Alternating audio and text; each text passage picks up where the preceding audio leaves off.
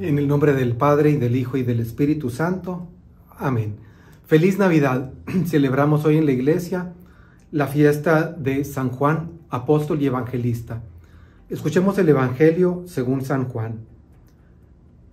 El primer día después del sábado, María Magdalena vino corriendo a la casa de a la casa donde estaban Simón, Pedro y el otro discípulo a quien Jesús amaba y les dijo, se han llevado del sepulcro al Señor y no sabemos dónde lo habrán puesto. Salieron Pedro y el otro discípulo camino del sepulcro.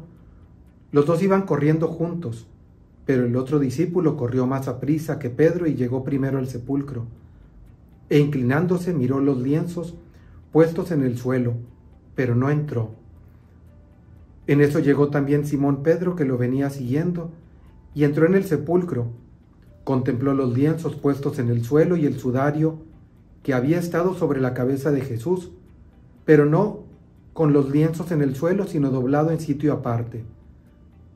Entonces entró también el otro discípulo, el que había llegado primero al sepulcro, y vio y creyó, porque hasta entonces no habían entendido las escrituras, según las cuales Jesús debía resucitar de entre los muertos.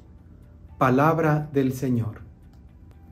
Dentro de este tiempo de la Navidad tenemos esta festividad de San Juan, el apóstol, que nos narra la venida al mundo del Hijo de Dios de una manera muy interesante. No nos narra lo de los pastores, lo de la cueva de Belén, sino que nos narra de una manera más teológica. Él es el que nos dice que el verbo que existía desde siempre y que es Dios, se hizo carne y habitó entre nosotros. Entonces Él nos lo dice de una manera más, más teológica. Este es el apóstol que fue elegido junto con Andrés, eran discípulos de Juan el Bautista, dejó las redes para seguir a Jesús. Es el apóstol que se recuesta en el pecho de Jesús en la última cena, que acompaña a Jesús en la, en la oración en el huerto, y es el único que estará al pie de la cruz este apóstol es el único que no murió mártir. Es el discípulo amado. Y creo que todo este recorrido rápido de la vida de Juan nos debe hacer pensar, bueno, y que también nos habla tan hermoso de, Dios es amor y todo el que ama ha nacido de Dios. Las cartas de Juan nos hablan del amor.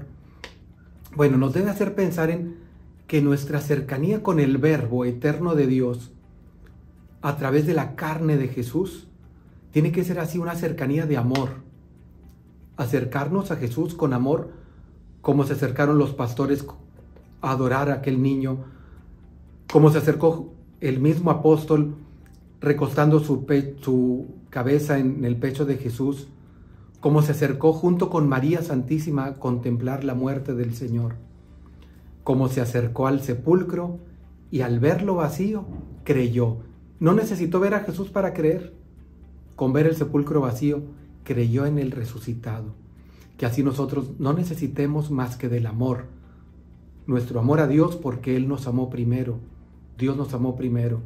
Pidamos a San Juan que interceda por nosotros para que también nosotros nos acerquemos con mucho amor al Hijo de Dios. Y la bendición de Dios Todopoderoso, Padre, Hijo y Espíritu Santo descienda sobre ustedes. Amén.